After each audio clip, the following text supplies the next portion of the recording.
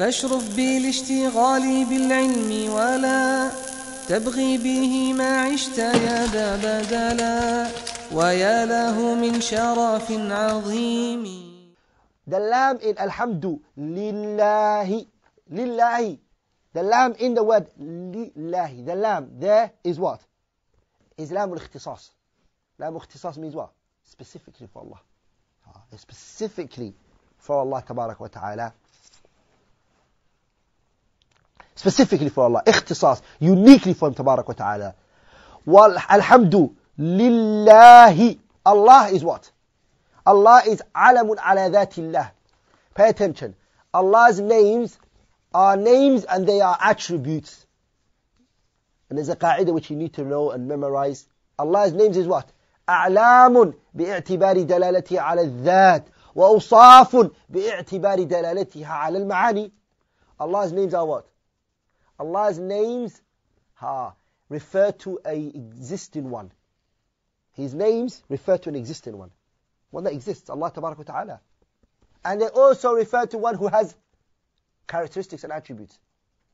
So every name of Allah is referring to Allah and it's also got an, it's got a characteristics in it. So Allah's names are not mujarrad asma. They're not just mere names that has no characteristics in it. For example, the word, huh, the word, uh, the name, sorry, Ar-Rahman. It means what? Most merciful. Most merciful.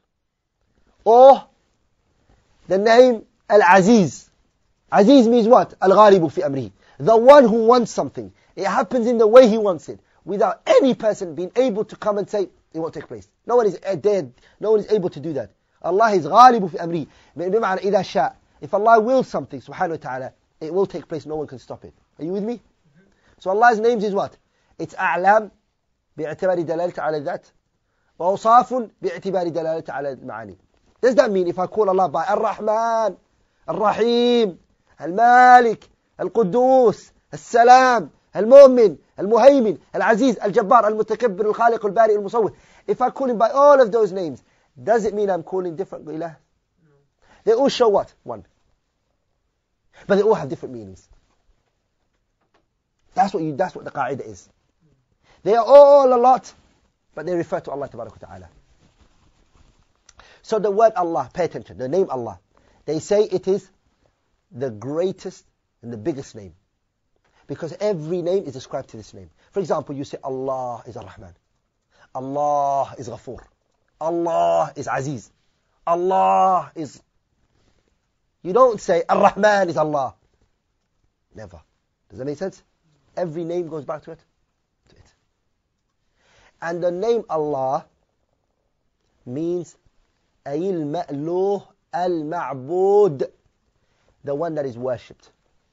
So it comes from the word aliha ya'lahu ma'luh. Aliha ya'lahu ma'luh.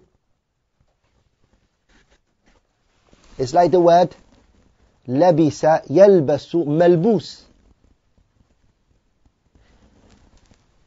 Allah is the so it's the one who is worshipped تبارك وتعالى المنفرد He's singular in what? عبادة The word Allah is what?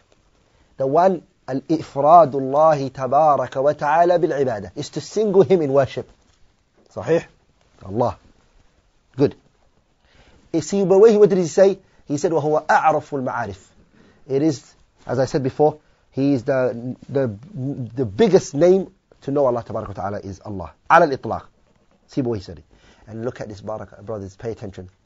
All of the people who were arrogant and tyrants and the rulers and those who claimed that they, were, they, should, they, they should be worshipped and whatnot, not one of them has ever been able to call himself Allah.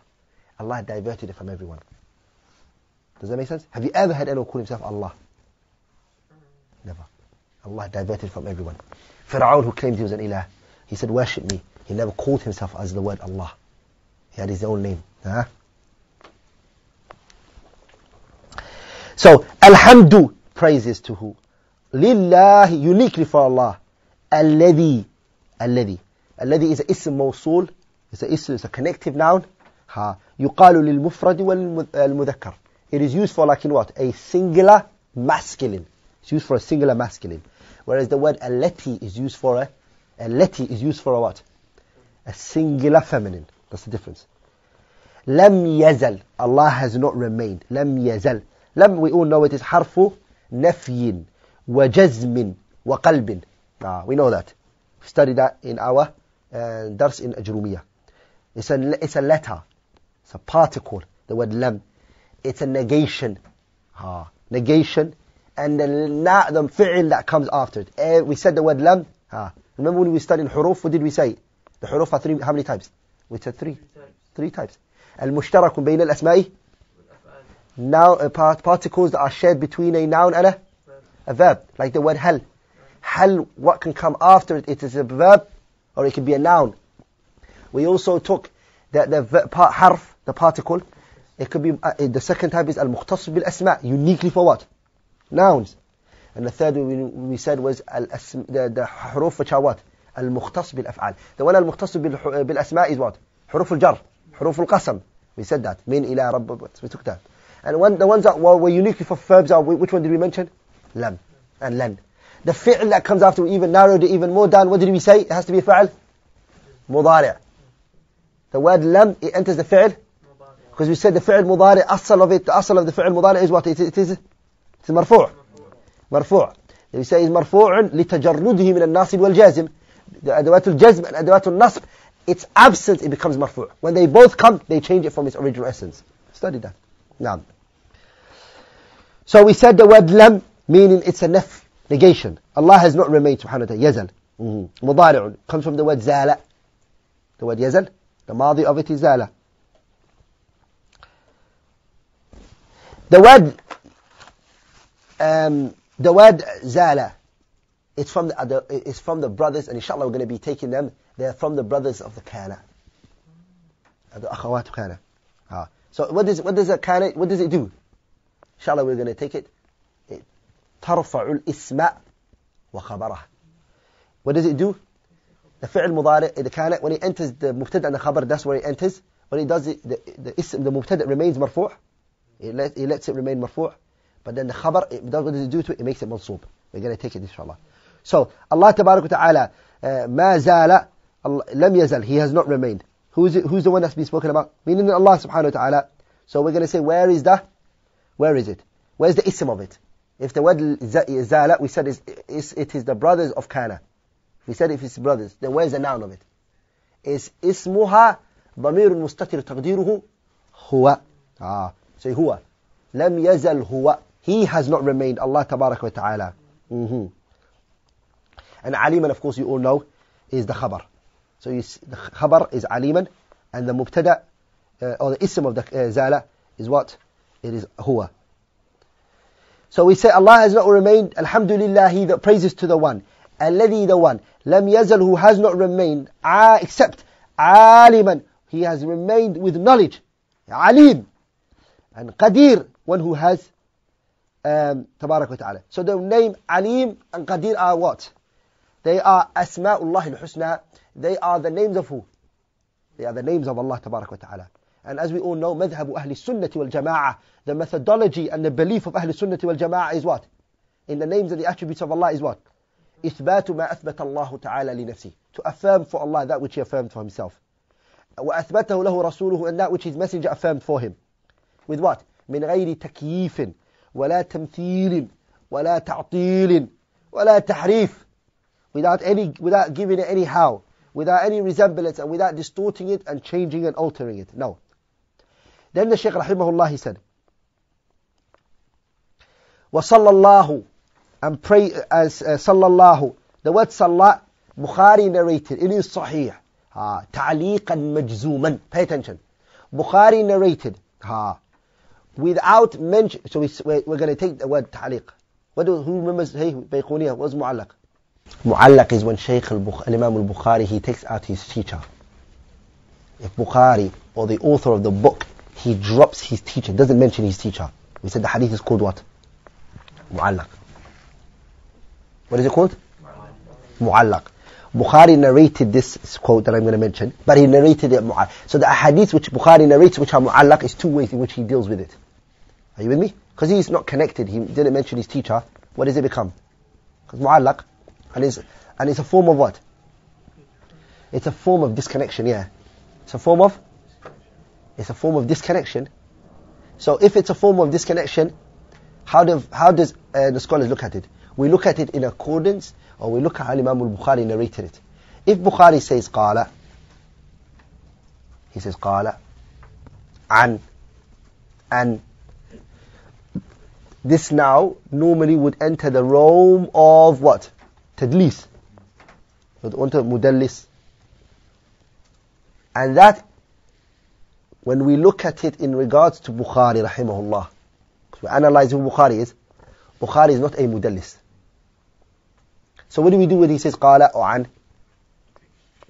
The ulama they say an anatul Bukhari, the an of Bukhari, ها يحمل على اتصال. يحمل على اتصال. It is taken as though it's connected. With the condition, some scholars say.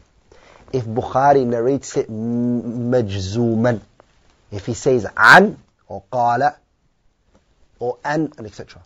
or rawa. لكن if it's if he says قيل روي حكي that is called صيغة التمريض second form right it's called what صيغة التمريض meaning Bukhari said it has been narrated the other one he's saying it's narrated this one he's saying it has been narrated كأنه ها صيغة التمريض Bukhari in his eyes, they say he considers it to be weak. So, that's where some people try to permit for themselves the issue of the music. Remember, we spoke about this issue? The hadith of Hisham ibn Ammar, right? Hisham ibn Ammar, Bukhari narrated with the word what? Qala. Bukhari's qala is the same as the word an. When we look at Bukhari, is, he is he a mudallis? No. Ah, he's not a mudallis. So he said qala, Hisham ibn Ammar. So then they said that Bukhari did not use the word حدثنا أخبرنا أنبأنا which was which is clear cut showing that he heard it from him. So they said there's a disconnection. This hadith is mu'allaq. Are you with me? The scholars answered three points here. The first one they said that Hisham ibn Ammar al-Bukhari did meet. Bukhari did narrate from him. And he is his teacher. The second answer that they gave also was Bukhari, even if he narrated with Qala or An, Qala is not Sighatul Tamrid. Sighatul Jazm. And sorry, it takes the ruling of the word an. والعنة البخاري محمولة محمولة على اتصال. يحمل على اتصال. That's known. The third answer that they gave, which is this hadith, it connected. Other narrations have we have, which Ibn رحمه الله mentions in his Kitab تغليق al-Ta'liq. If you go to it, you find it. Bukhari rahimahullah mentions the chain of narration for it. So that's weak inshallah, but you have to be alert and remember the books that we take, took before. This is a science, brothers. It's important that the previous book that we're taking, you learn it, you listen to it, in order to move on to the next book. Because it's going to keep coming up. And we can't keep going on with the same terms again. Sallallahu so where did that ta'liq and the mu'allaq come into this issue? Bukhari narrated in his Sahih ta'liqan majzuman with jazm. Abu Aliyah defined the word sallallahu alayhi wa the word sallallahu. He said sallallahu means what? Salatullahi thana'uh alayhi inda al-malaika wa salatul malaika ad-du'a. Abu Aliyah al-Rayahi, who is a student of Abdullah ibn Abbas uh, and Abdullah ibn Mas'ud, he said, mm-hmm, Abu Aliyah said, that Bukhari narrated this, but remember, we said is mu'allaq. Ah. Remember brothers, you have to learn the way the scholars. If Bukhari narrates a hadith and it's mu'allaq, you have to mention it's mu'allaq. If it's majzoom, you mention it's majzoom. Huh? If Muslim narrates a hadith, it is muqaddimah, the introduction. You have to say Rawah al-Bukhari fi muqaddimati. You can't say Rawah al-Bukhari and be quiet like that. It's important. Mm. So what did Abu Aliyah define sallallahu? He defined it, it means that Allah is praising His messenger in the gathering and the presence of the angels. What about when the angels do the salah? What does it mean? It's a dua. What is it? Dua. It's a dua. Abdullah ibn Abbas on the other hand, When he came to sallallahu, what did he say? Yusalluna, he said it means yubarrikuna. Ah, yubarrikuna. He said that they ask Allah's barakah for him. Alayhi the angels. Mm-hmm.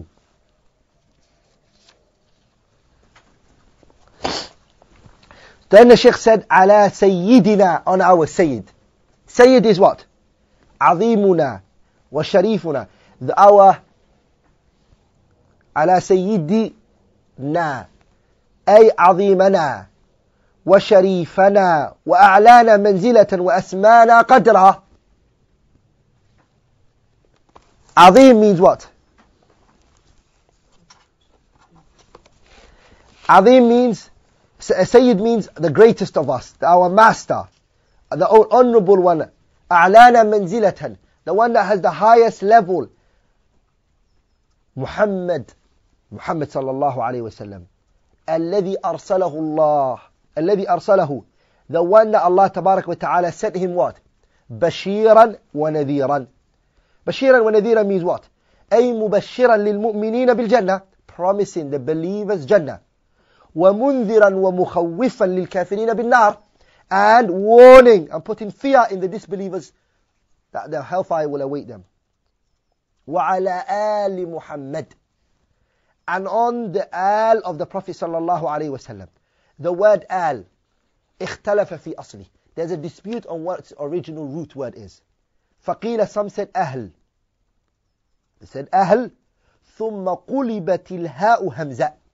And they said the ha got exchanged and it got turned into an uh, hamza. He said. You with me? Faqila, it was then said what? Because there's already a, if there, there's, a, there's a hamza already there, if the ha got changed to another hamza, what happened? It became what? It became a'al. A'al. That's what they said. ثم سهلت and then it got made easy, so it became what? Al. The two, uh, uh, the two of them merged together, two alifs, and what did it become? Al. That's one view. That's how it came into it, they said. So what did they say? The ha, the ha used to be ahl. The ha got changed into what? Alif. And then when it got changed into alif, what did it become? Two alifs, not alif, sorry, hamza, hamza, hamza. Two hamzas, what happened to both of them? Two hamzas entered, it became a med. Suhilat, it became med. So you say al, ah, hamza. And that's why the scholars they say, those who said that view, وَلِهَذَا يَرْجُعُ إِلَى أَصْلِهِ When you're trying to make it small, like you know, talib, what do you say? If you want to say a, a baby student of knowledge, how do you say it? طالب طالب علم I'm a طالب علم you want to say I'm a baby student of knowledge how are you going to say it طليب طليب صح It's called تصغير to make it smaller ha the word um, أهل how is it made it small عند أهيل الفن remember took أهيل أهيل is a تصغير of the word أهل so they say أهيل الفني meaning the people of this field ah أهيل الفني I think he says ومدرجات في الحديث ما أتت من بعد ألفاظ الرواة اتصلت هاي before that yeah وذو اختلاف سند أو متن مضطرب عند أهيل الفن آه أهيل الفن that's what meaning the people of this Ibn al-Qayyim said that is weak ah that view that that that, that happened that um, uh, قلبت الهاء همزة that the hat was changed to hamza and then after that it became uh, al and then what happened to al al uh, suhilat and then suhilat became al madwan into it Ibn al-Qayyim said that view is weak And he mentioned this in his kitab, what? Jala'ul Afham fi fadli salati ala khairil anam. Ah. He said, asluhu, it, asl of it is what? Owl. He said, Ali Hamza, wow and lam. It's owl. Ah. Imam al-Jawhari mentioned that. Ah. He mentioned that. Jawhari.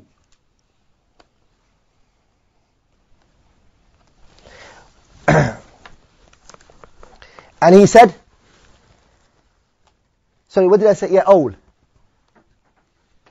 And al-owl means al-ruju' original. He said that's what it means. Jawhari rahimahullah mentions it. So he said, Jawhari says, في باب الهمزة والواو إلا واللام. He mentions it. Al-Hamza, wal, al-waw, wal-lam. Those three. That's the root where you, you go to, Al-Jawhari's kitab. What did he mention? He said, وَآلُ الرَّجُلِ The man's al is who? أهله, his children, his family. وعياله أتباعه, and his followers.